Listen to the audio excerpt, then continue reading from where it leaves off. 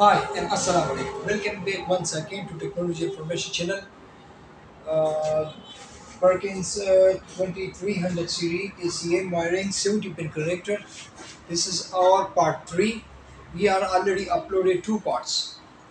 To explain the 70 pin connector, uh, each pin wiring diagram and which pin where is going to attach to each other all the system Perkins 2300 series ECM wirings 70 pin connector. If you never watched the part 1 and part 2, please go back and first watch part 1 and then part 2 and come to watch part 3 for understanding the complete system of the wiring diagram of Perkins 2300 series. So let's start the part 3 today. Uh, Perkins 2300 series ECM 70 pin connector wiring. This is the 70 pin connector of the ECM which called J1. Okay, 70 pin connector. This connector have 70 pins and this connector have this key letters. This is the wiring color code to identify to figure out each wire and for brown and for brown you for blue or for red and so you can read it. This is the ECM this is the J1 mentioned with the each pen for the understanding to this wire is come from the this connector J1 61 J163 and J1 65 these three wire is going to splice to each other pairs B negative, B negative, B negative. This is going to directly to ground with the starter motor ground or engine ground. Okay. After that, the J148, J152, J153.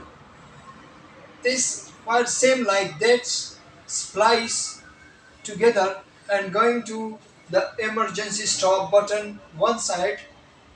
The emergency stop button is a normally closed switch. And another side is attached with the battery negative through the key switch out from the fuse. Okay. J's J170 pins is our key switch this switch is directly connected to the battery positive controlled by circuit breaker and fuse. Okay. J150 is J1 J1939 data link connector. This connect this engine have this engine ECM have another connector for the communication system. Okay. Data link connector, this is the data link connector positive, this is the data link connector negative, which is J1 34 pins and J1 42 is a screen, that's mean shield wire. Okay. And J169 is our negative and J18 is a Perkins data link connector battery positive data link connector positive and J19 pins is a Perkins data link connector negative. Okay. This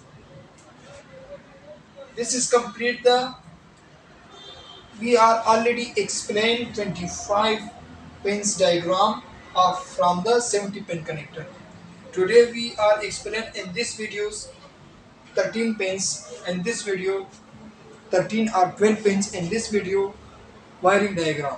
Okay, this is the part 3 and we are going to upload the part 4 very soon, very fast.